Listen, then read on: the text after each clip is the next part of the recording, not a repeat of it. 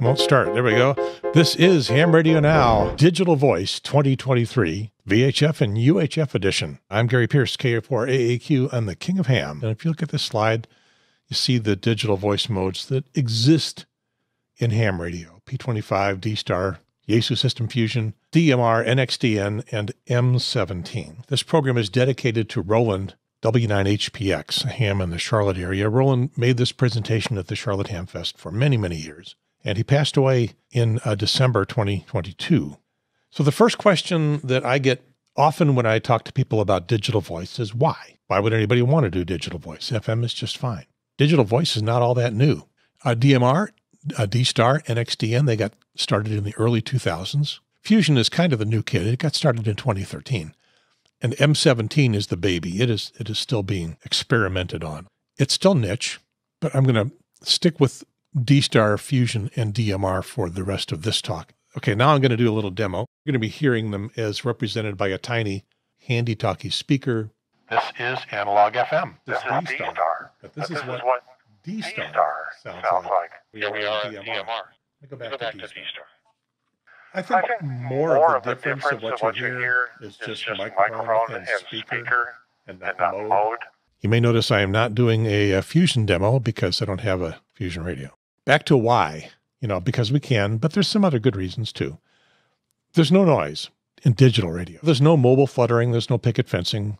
There's no random noise from RF pollution. No noisy weak signals. At the threshold, right at the bottom of the signal uh, level, just just before they disappear entirely, there can be some garble. They they can kind of come and go. They can dither a little bit.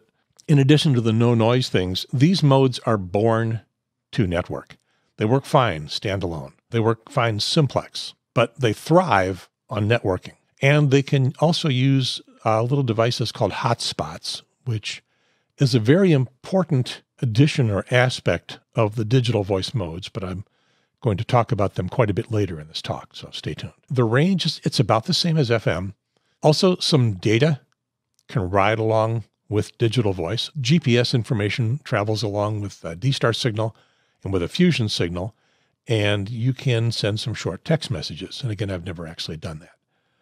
And then another advantage of one of the modes, DMR, it's actually got two voice channels in one RF channel, and I'll detail that coming up. There's a learning curve. You can expect to spend some time, not not minutes. It's going to be at least hours. It could be a couple of days before you've got your head fully wrapped around whichever digital mode that you've tried to go in because there's extra stuff to learn about them. You can't talk to a fusion radio from a D-Star radio or a DMR radio. They all operate analog FM, and that makes them compatible at the least common denominator of FM. But in their digital modes, can't talk to each other. There is no amateur radio that does every mode. There have been a few that have been promised that maybe almost kind of sort of came to market, but then they got abandoned. They never never really did. I know of three different attempts to make a multi-mode radio. They all fell short. It may help you uh, decide which mode to choose. Repeater Book does not have an all USA map, so I'm going to make Illinois be the stand-in for the rest of the country. So here is D Star in Illinois. Yaesu Fusion is seeded around the state quite a bit more. And we'll check DMR. Uh, Fusion's got the edge, but DMR is still ahead of uh, D Star. So you want to find out what's available in your area. In addition, it may come down to what do people you know use? What, what do your friends use? D Star uses a single six and a quarter kilohertz wide channel. More important to frequency coordinators, but it's interesting that it's such a narrow mode. Uh, programming a D-Star radio starts with some familiar parameters, frequency and offset. And the slide that I've got here are the extra stuff that you put into a D-Star radio as you're programming it. There are these four fields, these four things that exist inside the radio, but this UR field, that's the important one because that's the one that controls the D-Star repeaters. This is the D-Star network. It's a collection of what in D-Star are called reflectors. And all a reflector is, is just a software program running in a data center someplace. So repeaters and these hotspots I haven't really talked about yet connect to reflectors. There's a total of 91 reflectors right now worldwide. They are organized sometimes by region.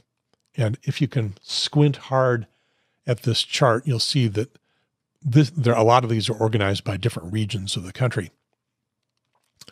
Sometimes they're they're organized by interest groups, so they would be nationwide or worldwide, but according to a specific interest. There's only a few D-Star reflectors that are organized that way. And then finally, they tend to be organized by language. There are few D-Star repeaters that have enough local traffic to keep them busy. Again, it's a niche mode. So even if you're in a big city, a Chicago, a New York, Los Angeles, there's not enough traffic from the local hams to keep the repeaters busy. So you can connect the repeater to a reflector that will bring in traffic from a wider area. This is a screenshot off of my 5100. When I'm telling my mobile radio to tell the repeater to connect to reflector 54C. Here's the current D Star radios from ICOM and a list of the discontinued radios. Again, it's been around for a while. Yaesu System Fusion, 12.5 kilohertz wide channel, which is important more to frequency coordinators. Programming a Fusion radio begins with those same familiar parameters program the frequency of the repeater and the offset. And then, oh, yeah, I, I think I told you I don't have a Fusion radio. I can, however, watch a video, and I did watch a video of a guy programming it. He pushed a button there that's underneath his thumb there on the left hand side of the radio, and the radio magically connected to what Fusion calls a room. ICOM calls them reflectors. When we get to DMR, they're going to call them talk groups. But Yaesu, uh, Yaesu calls them rooms on Fusion, and he connected to the CQ Victoria room. Here's the uh, Fusion radios that are out there on the market right now. DMR. Okay, here we go.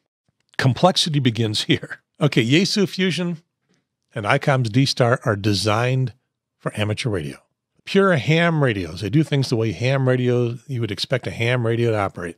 DMR is a commercial system that has been awkwardly adapted to amateur radio.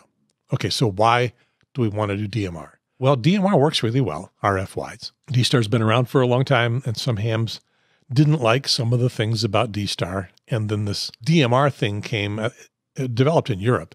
And they said, oh, that's a digital mode that works differently and maybe a little bit better than D Star. And so let's try that. So they brought it into ham radio. They put up repeaters. They got networking together and it really took off. And why did it really take off? Because of this radio, this one radio, the TYT MD380, which long about 2015 was selling for about a hundred bucks. About DMR, 12 and a half kilohertz wide channels, but in that 12 and a half kilohertz, there's two distinct voice channels. I'll explain that a little bit more in a moment. Uh, programming begins with your familiar parameters, ones we've talked about for everything. And then we add, oh my God, we add a lot. Let's tackle the uh, two voice channel thing in one RF signal. Each channel has two time slots, 35 milliseconds long. And I'm going to demonstrate what that sounds like on an FM receiver here.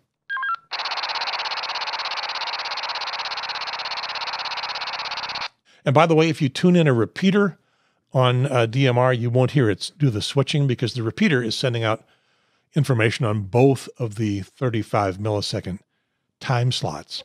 And so that's why the time slot becomes one of the parameters you program into the radio. Talk groups are like reflectors and rooms. They are divisions of network activity, but they're a little different because they are a feature of commercial trunked radio systems. Ham radios can't hear the talk groups they're not programmed for. That's kind of awkward. That doesn't sound very ham radio to me. So the newer radios have a workaround. They've got something called digital monitor or promiscuous mode. And now you can hear everything that's coming out of the repeater. DMR networks, there are lots and lots of DMR networks, and each network has dozens or hundreds or maybe thousands of talk groups, or they may have just a few. Brandmeister is the 800 pound gorilla of DMR networks. Here's something cool about Brandmeister. You can go to their website. This is what they call the Hoseline. It will show you all the talk groups. And the screen you're seeing right now is, is just a limited selection of them. And the ones that have a red line around them are the ones that are currently actively somebody's talking on. And you can tap on those and listen, actually monitor the traffic through your computer. Programming a DMR radio, this is something that, that people will tear their hair out a little bit. Without a computer, you just plumb can't. There are some newer radios like the Anytones that I've got where you can program everything in from the keyboard, but it's tedious. It's too many parameters to program if you're going to program a lot of repeaters. You want to learn how for a field emergency, but for mainly for programming your radio, you want to do it on a computer. Color code is a number, not a color. It works like tone or CTCSS or PL. It can keep users and repeaters out of each other's hair. On D-Star and Fusion, you actually embed your call sign in the radios. You program your call sign into the radios. DMR is a commercial system. It doesn't doesn't do call signs, but there is something in the radio that is unique to each radio. There's the radio ID number. You get it from a, a uh, website called radioid.net. And there's this database thing of all the DMR IDs that have been distributed to hams worldwide. It can show up on the screen of the guy receiving your signal.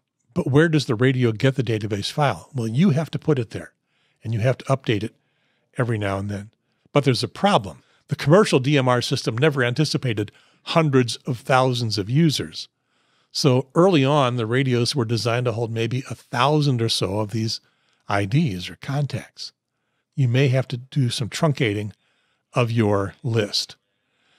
The newest radios coming onto the market, um, my Anytone Handy Talkie and Mobile, hold a half a million contacts. Zones, something else that is not completely unique to DMR radios, but but kind of all DMR radios, at least all the ones on the market so far, use a zone system for channel management. As you program your frequencies into your radio, they're going into memory channels, but I can't access those directly. I can't just dial up whatever I've got in memory. I can only access those through zones. So each channel goes into one or more zones. Scan lists, a little bit weird to, to even have to mention this because all our radios do scanning, all, all, your old analog radios do scanning, but how, how do they decide what they're going to scan? You have to create something called a scan list. And then the weird thing is that the scan lists get associated with a channel. You program a channel together. You put in the frequency, you put in the, the offset, you put in the time slot, you put in the color code, you put in the talk group, and then you put in the scan list that you want the radio to start scanning when you're sitting on that channel and you push the scan button. So let's put it together for DMR radios. Uh, much easier to program if you use a computer. You're going to program frequency offset, talk group, color code, time slot, scan list. Gets a little confusing, but that's DMR. The radios, it's hard to get a handle on all the DMR radios on the market. That's why you're not seeing a picture of all the radios. They're all made in China. Many are rebranded clones of other radios. It's the same way that the Chinese manufacturers are doing it for FM radios. So I have mentioned these hotspot things quite a bit. They are your back door to the networks. They come in a version that makes your own little low power mini repeater. It's got a tiny antenna on it. There's a version that's not really called a hotspot, you know, more just a, a USB dongle interface. You talk to the network using your PC, using your mic and speaker with your PC. No RF involved at all. Uh, why would you want to use a hotspot or a USB dongle? You're not going to be tying up a repeater for long term monitoring or long conversations. They'll also let you play a lot more, switch between reflectors or rooms or talk groups. You can access the networks and the talk groups, etc., where there's no repeater available at all. You can set them up, some of them set them up mobile using your phone's internet. So let's look at some of the devices that actually exist out there. These are the actual hotspots. You can see most of them have a little antenna sticking up. And here's the dongles that are available. This uh, program was sponsored by the Charlotte Digital Radio Group. It's it's a, an informal non-club group, and that will be it for Ham Radio Now. Digital Voice 2023, the VHF UHF edition. I'm Gary Pearce, K4AQ. I'm the King of Ham. Over and out.